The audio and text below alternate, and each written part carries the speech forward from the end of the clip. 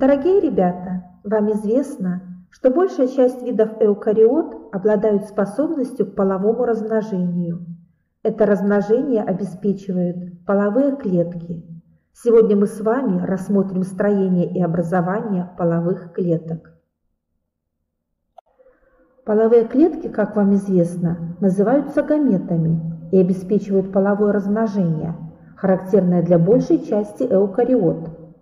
При половом размножении особи каждого следующего поколения возникают в результате слияния двух специализированных гаплоидных клеток – гамет.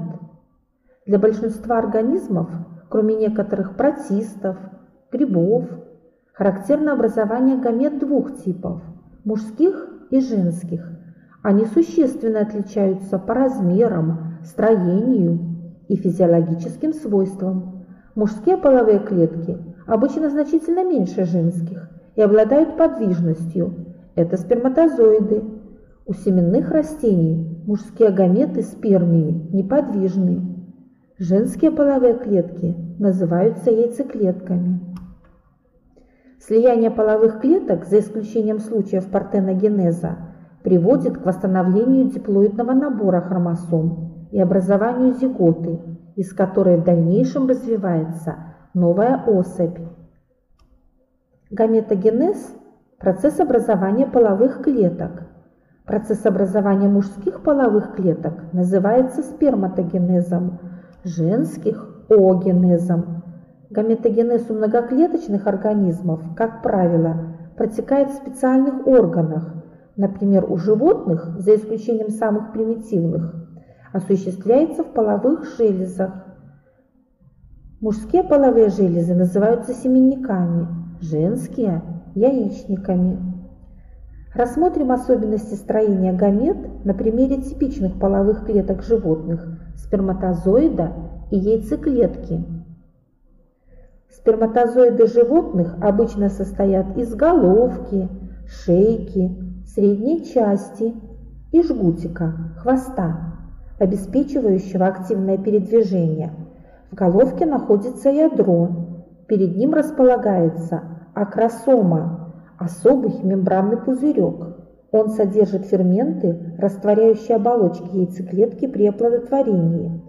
В узкой шейке сперматозоида находятся две центриоли.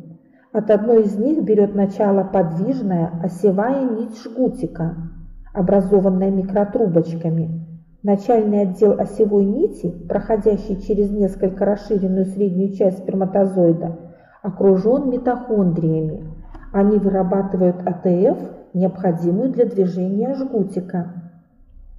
Дорогие ребята, вашему вниманию представлены особенности строения и функции сперматозоида в виде таблицы.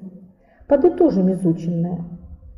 Таким образом, сперматозоид лишен запаса питательных веществ и содержит минимальное количество внутренних структур, обеспечивающих его подвижность и способность к оплодотворению яйцеклетки. Энергию, необходимую для движения, сперматозоиды получают прежде всего за счет расщепления веществ, которые содержатся в окружающей их семенной жидкости. Яйцеклетки большинства животных неподвижны и обычно имеют округлую форму. Женская половая клетка содержит крупное ядро и цитоплазму с органоидами, а также с запасом питательных веществ. Как правило, яйцеклетки намного крупнее сперматозоидов и большинства соматических клеток. Так диаметр яйцеклетки человека составляет 150-200 микрометров, в то время как длина сперматозоида равна приблизительно 60 микрометрам, при ширине головки около 3 микрометров. Поверх плазмолемы яйцеклетка может быть окружена еще одной или несколькими оболочками. Они выполняют главным образом защитную функцию. Дорогие ребята, вашему вниманию представлены особенности строения и функции яйцеклетки в виде таблицы. Подытожим изученное. В отличие от сперматозоида, яйцеклетка содержит большое количество питательных веществ, которые необходимы для обеспечения развития зародыша. Интересно, что самые крупные женские гаметы характерны для животных, зародыши которых развиваются вне материнского организма, птиц, пресмыкающихся, земноводных, многих рыб. Например, размер яйцеклетки и кринки лягушки равен 2 мм, лососевых рыб 6-9 мм. У птиц диаметр яйцеклеток может достигать нескольких сантиметров. Рассмотрим процесс образования мужских половых клеток на примере млекопитающих. Сперматогенез у млекопитающих начинается с периода полового созревания. Как вы знаете из курсов биологии 9 и 10 классов, образование сперматозоидов осуществляется в извитых семенных канальцах мужских половых желез, семенников. По мере своего развития предшественники сперматозоидов – постепенно смещаются от периферических зон стенок канальцев ближе к их просветам. У человека этот процесс занимает около 75 суток, после чего сформированные сперматозоиды выходят в просвет семенного канальца. Сперматогенез включает четыре периода. Период размножения – диплоидные предшественники мужских половых клеток сперматогонии многократно делятся митозом. Это приводит к существенному увеличению числа сперматогониев. Период роста. Сперматогонии, завершившие метатические деления, начинают расти. С этого момента они называются сперматоцитами первого порядка. Рост сперматоцитов первого порядка не приводит к значительному увеличению их размеров. Период созревания. Сперматоциты первого порядка делятся мейозом. В результате первого деления мейоза из каждого сперматоцита первого порядка образуются два гаплоидных сперматоцита второго порядка. В результате второго деления четыре гаплоидные сперматиды. Период формирования. Каждая сперматида превращается в сперматозоид. При этом меняется форма клетки, происходит образование акросомы, жгутика и других структур, характерных для зрелых мужских гамет.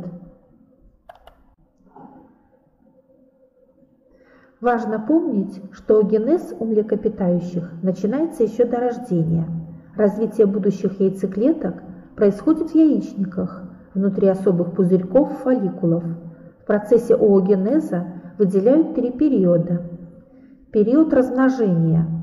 Во время эмбрионального развития женского организма диплоидные предшественники яйцеклеток, оогонии, многократно делятся путем митоза. Вследствие этого количество оогониев значительно возрастает.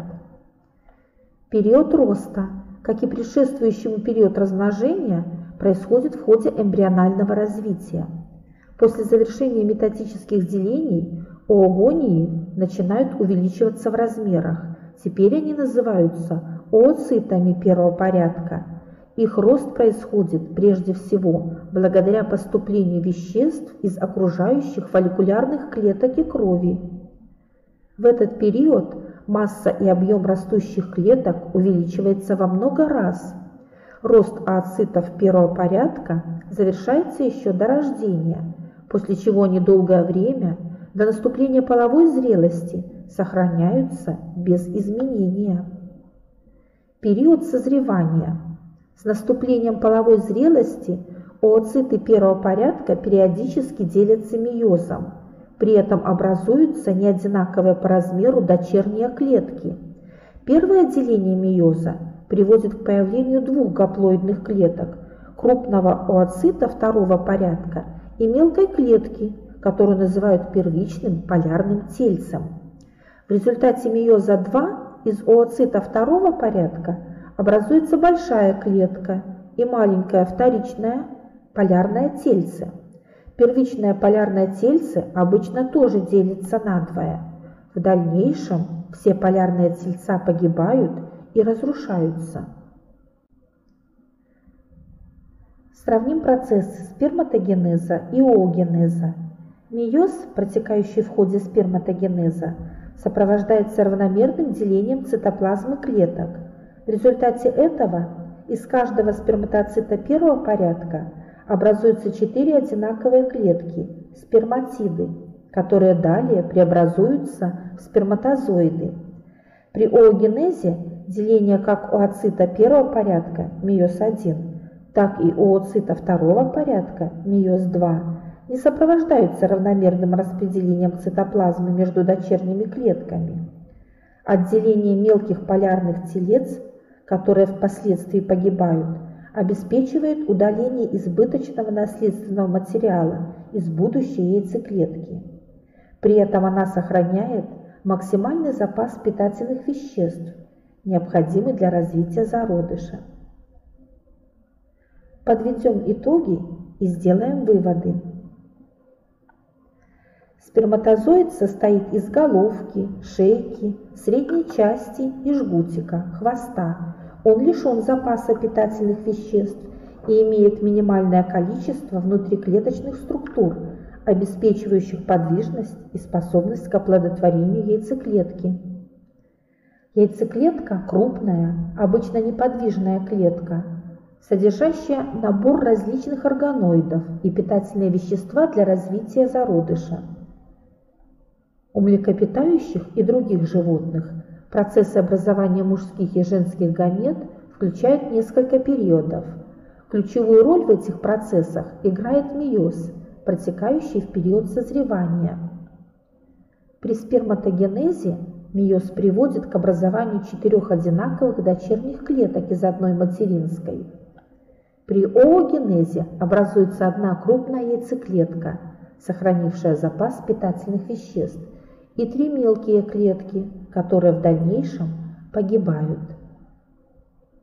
Дорогие ребята, для закрепления изученного материала предлагаю еще раз ознакомиться с материалами 19 параграфа вашего учебного пособия и ответить на вопросы. Удачи при изучении биологии!